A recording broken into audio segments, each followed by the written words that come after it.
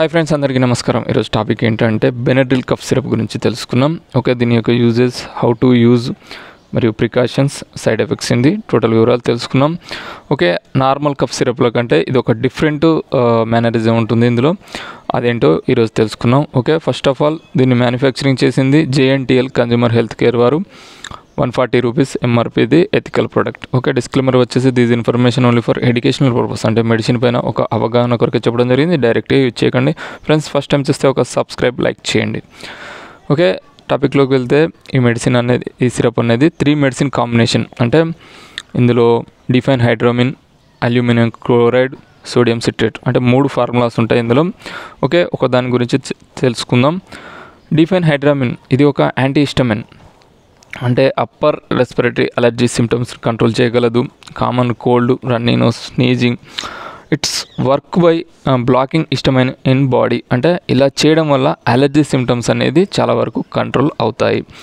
Next వచ్చేసి ammonium chloride ఇది ఏంటంటే ఎక్స్పెక్టోరెంట్గా పనిచేస్తుంది. అంటే రెస్పిరేటరీ ట్రాక్ ఫ్లూయిడ్స్లు కంట్రోల్ చేయడం అంటే ఎయిర్ వేస్ మ్యూకస్ని కంట్రోల్ చేయడం. అంటే ఇది ఒక six to three to six అవర్స్లో దీని యొక్క రిజల్ట్ అనేది కనబడుతుంది. నెక్స్ట్ సోడియం సిట్రేట్ ఇది ఎయిర్ వేస్లోని మ్యూకస్ని రిమూవ్ చేయడంలో మరియు థిక్కింగ్ అంటే స్టిక్కింగ్ మ్యూకస్ను రిమూవ్ చేయడం అంటే చాలా అతుకపోయిన మ్యూకస్ను రిమూవ్ చేయడంలో ఇది చాలా బాగా ఉపయోగపడుతుంది. ఓవరాల్గా ఈ మెడిసిన్ కాంబినేషన్ వల్ల కఫ్ అనేది చాలా వరకు రిలాక్సేషన్ వస్తుంది. ఒక డిఫరెంట్ ఇందులో ఉన్నది ఏంటంటే దీని మెయిన్ యూజ్ ఏంటంటే కొందరిలో మ్యూకస్ అంటే ఈ మ్యూకస్ అనేది ఎయిర్వేస్ మరియు థ్రోట్ లంగ్స్లో గట్టిగా అతుక్కుపోవడం వల్ల ఫోర్స్ఫుల్గా కానీ అంటే ఫోర్స్ఫుల్గా తగ్గిన మరియు సడన్గా తగ్గిన అది బయటికి రాకపోవడం వల్ల చాలా ఇబ్బందిగా అంటే చెస్ట్ టైట్నెస్గా అనిపిస్తుంది.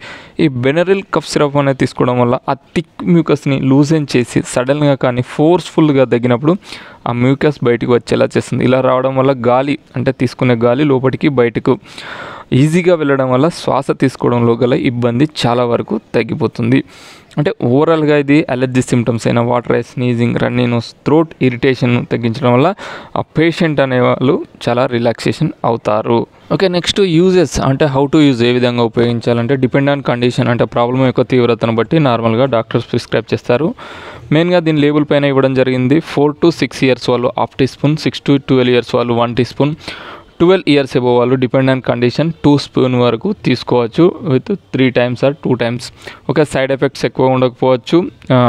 ఎందుకంటే డాక్టర్ సలహా మేరకు తీసుకుంటారు కనుక కొందరిలో పడనట్లయితే stomach pain dizziness sleeping problems allergy reactions impaired coordination మరియు థిక్నేడ్ రెస్పిరేటరీ ట్రాక్ సెక్రేషన్స్ వంటి కొన్ని సైడ్ ఎఫెక్ట్స్ కనిపిస్తాయి. ఇటువంటి లక్షణాలు కనిపిస్తే ఈ సిరప్ను వాడడం మానివేసి దగ్గరలోని మంచి డాక్టర్ను సంప్రదించగలరు. మరియు precautions as usually pregnancy ladies మరియు బ్రెస్ట్ ఫీడింగ్ అంటే పాలిచ్చే తల్లులు మరియు చిల్డ్రన్స్ చిన్నపిల్లలు కంపల్సరీ డాక్టర్ సలహా మేరకు ఉపయోగించండి.